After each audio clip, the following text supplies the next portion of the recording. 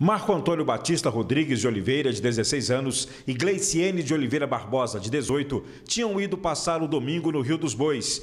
Eles entraram num ponto raso do rio, mas acabaram sendo levados pela forte correnteza. Segundo o Corpo de Bombeiros de Itumbiara, que está atendendo a ocorrência, um dos dois amigos que participavam do passeio tentou salvá-los, mas por pouco também não se afogou. A correnteza nesse, nesse local é muito forte, né? O Rio dos Bois é um local com muita correnteza, uma água muito turva, com muita galhada, muita pedra e aí ele certamente teria muita dificuldade sem algum tipo de equipamento, sem um colete salva-vidas, sem uma embarcação. O corpo de Gleiciene foi encontrado no final da tarde de ontem. Os bombeiros continuam as buscas por Marco Antônio. As buscas é, foram retomadas agora às 6 horas da manhã dessa segunda-feira e nós só vamos sair do local é, até encontrar esse rapaz.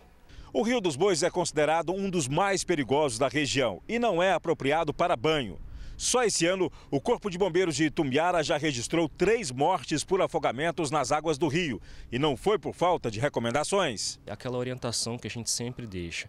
É, se a pessoa, mesmo sabendo nadar, não tiver equipamentos, um colete salva-vidas, não estiver sendo observada, não arrisque sua vida, né? Não, não chegue longe nesses balneários, em rios, lagos, justamente porque a gente não sabe dos perigos escondidos ali. Nesse local foi um, um, um acidente que poderia ser evitado se as pessoas não tivessem adentrado é, tão, tão longe assim no rio, né?